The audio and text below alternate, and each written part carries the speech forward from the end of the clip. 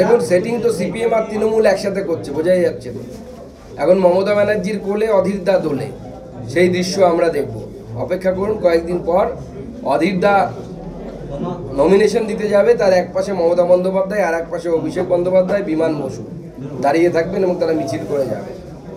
দ্বিতীয়ত, অভিষেক বন্দ্যোপাধ্যায়ের মনে হচ্ছে যে পেঁচাও ভাবে যে সূর্যের সাথে আমার বৈরিতা সে আমি দিনের বেলা বেরোবো না। তার জন্য তো সূর্যের কোনো যায় আসে না। অভিষেক বন্দ্যোপাধ্যায়কে ভয় পাওয়ার কি চোরকে কে ভয় পায়?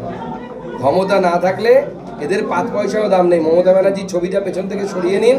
অভিষেক বন্দ্যোপাধ্যায়কে রাস্তায় ধরে লোকে পেটাবে।